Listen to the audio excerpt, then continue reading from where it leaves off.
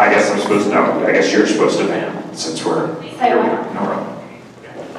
How are you guys doing? Going at Tanner? Mm-hmm. I was there last year, and you're like, oh, I have so many ideas, right? I love kids. Ever since I can remember, I've worked with kids, babysitting, vacation Bible school. I even have three of my own. They're teenagers. I don't like them so much right now, but they're teenagers. I have three kids. And I'm guessing you like kids too. So in all my years of working with kids, I have found four secrets to student engagement. Relationships come first. So last spring, uh, so just background, Jen kind of shared you our story. We connected at PETE&C and started this book club for, maybe you got a book this morning? When you wonder if you're learning? An amazing I hope you take time to read it. So we did a book club, and we actually went down to Pittsburgh and heard Ryan and Gregg speak at the Heinz History Center. And Ryan is a former teacher, the co-author of the book. And he was asked, what would you do differently after studying the life of Fred Rogers? What would you do differently if you went back into the classroom? Without, a, without hesitating, he said, I would spend the first getting to know my learners.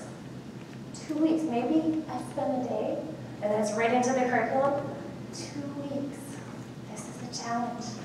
Two weeks to get to know your learners. Those relationships come first. In fact, it reminded me of something that John, I lost, lost his name, John Craig, he was here yesterday. He spoke last year at Summit. And what happened to it? I think so. Did I do? I think so. There you go. So I never heard this before. Some of you, I know some of you have heard the two by ten. He said to us, um, uh, relationships first, spend two minutes, 10 days in a row getting to know your learners individually, asking them questions and being curious about them. In fact, this is the quote from When You Wonder You're Learning.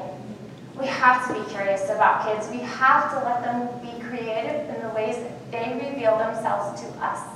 We have to listen to them deeply, talk to them lovingly, and we have to show up for them if we want them to show up for us.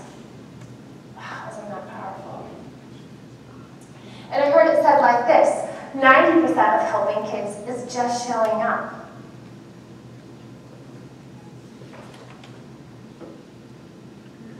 We have to show them we care, and that is the first secret to student engagement. The second is this passion. Jen gave us the definition yesterday passion, that strong emotion. And we know it's hard to maintain that strong emotion all year unless we do this. Remember your why. Why are you here? Why are you a teacher? Why are you doing what you do? And if you were at PETE&C last February, you saw this guy, and he said these two words, because kids. This is Dr. Brown. He's an amazing person to follow on Twitter. Hello, Twitter. So, because kids. But it's hard to remember our why all the time. So we need to do what brings us joy. Bring to your classroom things that bring you joy. Now, I'm not asking you to Marie Kondo everything to see if it sparks joy. Not what we're saying. But what are some tech ideas? What are some gamification if you're in my session today? What are some tech tools that you can do to bring joy to your classroom?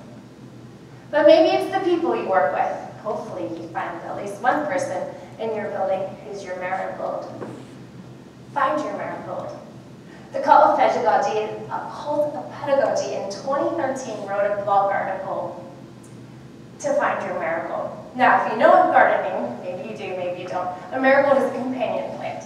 And a marigold is supposed to be planted next to other plants to help them grow and nourish and flourish.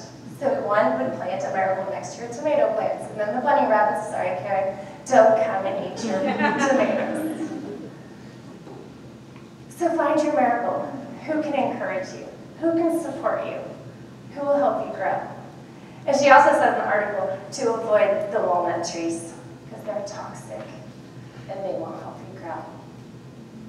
And if you find your marigold, then you also need to find your tribe.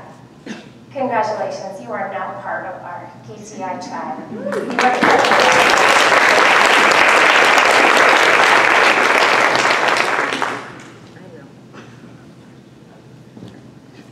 So the third secret is the Goldilocks effect. You remember Goldilocks? So find activities to do in your classroom that aren't too hard, that aren't too easy, but are just right. Just like the porridge and the beds and the chairs in the store of Goldilocks. Um, so while it can be challenging to do so, we have to find those, that middle ground, and we have to find our just right that are interesting and relevant. If you know, you know. the last secret is fail forward, and you've heard us say that a lot here this week, and we even have a board. But I gotta tell you, I went to Kennedy Space Center this summer and I saw this. Have you seen that? Failure is not an option. And that bothered me because that goes against everything I do in my classroom. So it got to me to thinking, obviously, when there were, you know, people stuck on the moon and failure was not an option, they had to discover a way to get them home. But when, for educators, is failure not an option? And it, I, I thought of this. I cannot fail my learners. We cannot fail our learners. But we will fail to engage them 100% of the time. It's just not going to happen. And when I fail, we fail educators' growth mindset. We have to make mistakes in front of our students, and we have to let them see us make mistakes. So, four secrets to student engagement, they're not secrets. It's just things that we need to be reminded of as educators. And to close, this is from uh, Dave Burgess in his book, Teach Like a Pirate. And he says, provide an uncommon experience for your students, and they will reward you with uncommon effort